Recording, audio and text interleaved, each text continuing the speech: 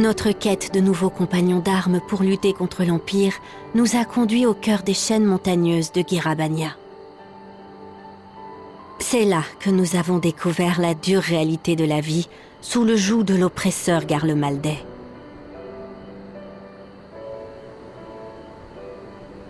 Nous avons alors réalisé la détresse de ces gens, condamnés à subir les pires humiliations, traités comme des bêtes jour après jour depuis des années.